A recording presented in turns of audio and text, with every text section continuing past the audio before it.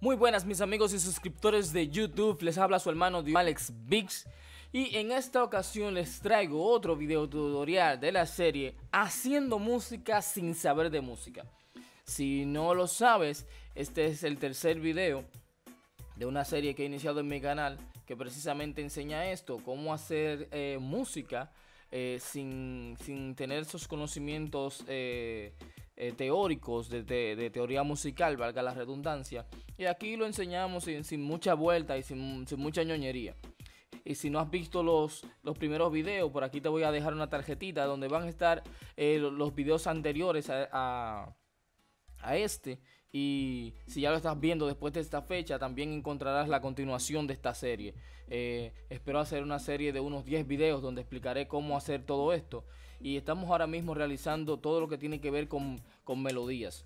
En este video te voy a enseñar cómo hacer acordes sin saber de música, cómo realizar acordes en el video anterior estuvimos eh, dando ciertas pinceladas sobre esto, por lo que ya esa primera parte eh, la voy a dar por entendida, por lo que te pido que una vez más, que si aún no has visto ese video, que vayas a, ese, enlace, que te deje en esta tarjetita y que también te dejaré en la descripción del video y en el comentario fijado para que veas este video primero y veas lo que enseñamos ahí y luego continuamos aquí, porque aquí lo que vamos a hacer es ponerle la cerecita al bizcocho. Bueno, ya sin más, vamos a esto y comencemos. ¿Qué es lo que tenemos por aquí? Bueno, hasta ahora tengo aquí ya un loop de percusiones de trap, que tengo aquí, estamos trabajando un tiempo de 148, y tengo un loop de percusiones de trap que hace esto.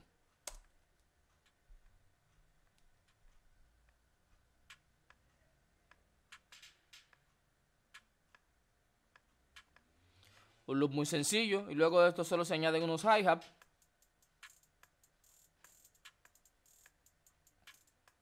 Bien, solo tenemos estos loops, eh, los estamos utilizando ya de, modo de tener una base donde vamos a, donde vamos a trabajar con, con, nuestros acordes. Por acá también tenemos un Nexus cargado.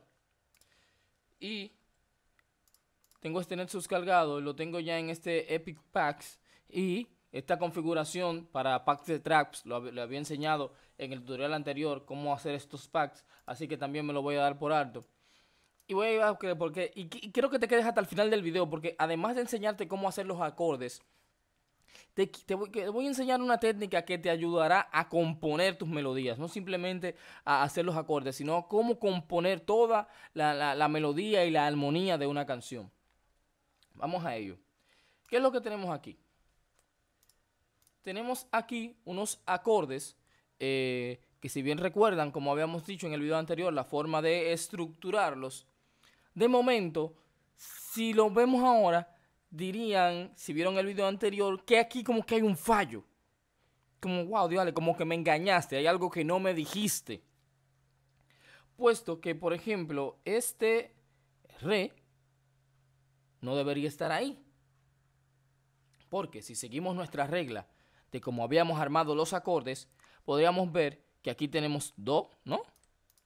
Luego tenemos 1, 2, 3, 4 y estamos en la nota, ¿no? 1, 2, 3 y estamos en la nota. Pero si vamos aquí a este re, cuando vamos 1, 2, 3, 4, ¿qué pasó ahí? Y tenemos la otra nota en el quinto. No obstante esto, luego voy desde acá. 1, 2, 3, 3, 4 y ahí caigo, cuando deberían ser 4, 3.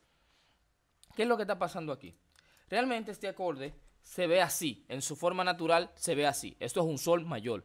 ¿Qué es lo que estamos haciendo? Estamos tomando este re que normalmente estaba en esta, en esta, en esta posición y lo estamos llevando a la octava menor. A esto se le llama inversión. Es una inversión en el acorde. Igual podríamos hacer esto, como también podríamos hacer esto, como también podríamos hacer esto. ¿Qué es esto? Son diferentes formas de el mismo acorde darle diferentes matices. Porque, por ejemplo, no es lo mismo como suena acá.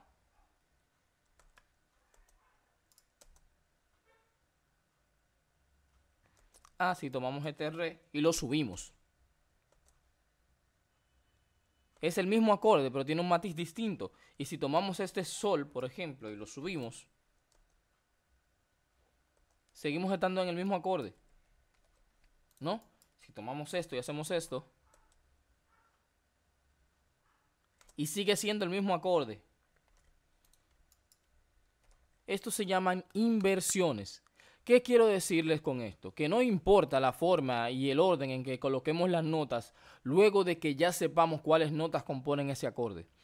No importa en qué octava le estemos tocando, siempre sonarán afinados. Ahora bien, como les dije en el video anterior, una cosa es que suene bien, o sea, una cosa es que esté afinado y otra cosa es que suene bien.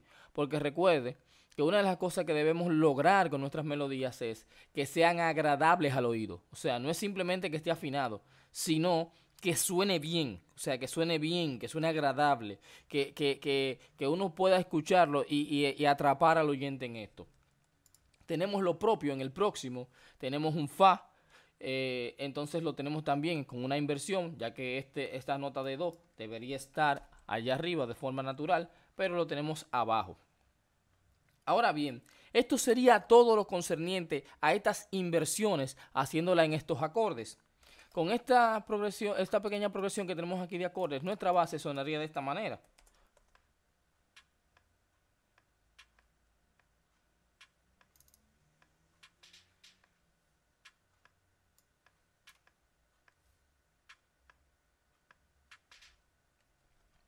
Ahora bien, Está muy chulo, muy, muy chévere, sabemos cómo armar los acordes y todo.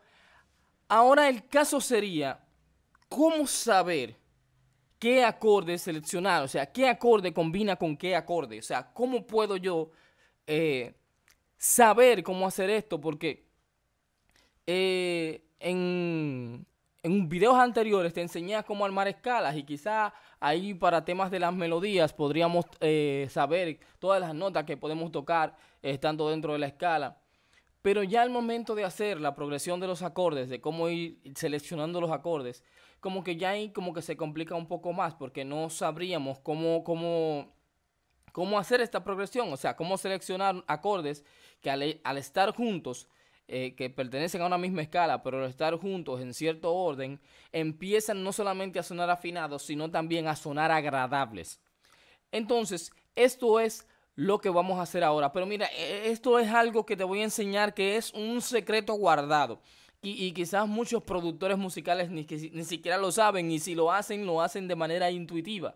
O, o porque son personas que ya tienen cierto nivel de conocimiento en teoría musical, pero hoy yo te lo voy a dar de manera sencilla y sin muchas vueltas, por lo que te pido que te suscribas a mi canal y actives la campanita, porque lo que te voy a dar es oro, te voy a dar lingotes de oro. Entonces, y estas son lo que, cosas que seguiremos viendo en esta serie. ¿Qué es lo que tenemos aquí? ¿Cómo yo llegué a seleccionar este Do mayor para que luego siga este Sol y luego termine en Fa? ¿Por qué hice esto? Les voy a enseñar esta técnica muy sencilla y es una técnica que yo le llamo la técnica de siete pasos. ¿En qué consiste esta técnica? Por ejemplo, si yo quiero hacer mis armonías, mis melodías, mi instrumental, iniciando en el acorde de Do, entonces lo que yo hago es lo propio. Tomo el acorde de Do y cuento siete notas hacia arriba. Un, 2, 3, 4, 5, 6, 7 y cae en sol. Ese sería mi segundo acorde. O sea, luego de yo haber, hacer el acorde de do, yo tomaría ese segundo acorde para colocarlo en el próximo. Haría el acorde de esa nota y continuaría en el próximo. Ahora, para llegar a la próxima, ¿qué hago? Entonces, voy a do y cuento siete notas hacia abajo. Y voy 1, 2, 3, 4, 5, 6, 7, que es Fa, y lo tengo acá. Y así de esa manera tan sencilla podemos estructurar una progresión de acordes que en música urbana funciona muy bien. Y esto no solo podríamos montarlo así, podríamos hacer también lo siguiente. Podríamos hacer esto. Para hacer lo propio, podríamos hacer esto. Y de igual manera funcionaría de igual manera funcionaría.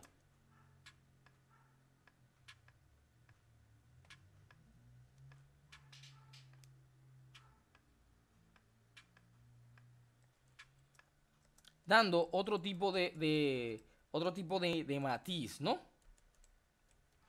Entonces, esto sería todo por este video tutorial. En el próximo video te voy a enseñar una técnica que hará que, tus melodías se salgan de las bocinas, que tus melodías sean aceptadas, que no solamente estén afinadas, sino que también que sean agradables. En el próximo video tutorial vamos a empezar a ver cómo componer, cómo componer música sin saber de música. Así que nos vemos en el próximo video. Este fue tu hermano Dios Bix. Suscríbete a mi canal eh, activa la campanita, ¿no? Y también puedes seguirme en Instagram como Duales Oficial, donde estoy diariamente subiendo historias de todo lo que voy trabajando aquí en el estudio y muchas veces doy tips y cosas rápidas que me van surgiendo al momento de resolver problemas que me están pasando en ese momento con alguna mezcla y las comparto a través de Instagram en historias. Y si no me estás siguiendo ahí, te estás perdiendo casi el 80% del contenido que estamos realizando. También puedes visitar mi, tienda de instrumentales, Duales Big Store, en Instagram también. Y ahí puedes ver todos estos trabajos que vamos subiendo. Así que nos vemos pronto y bendiciones.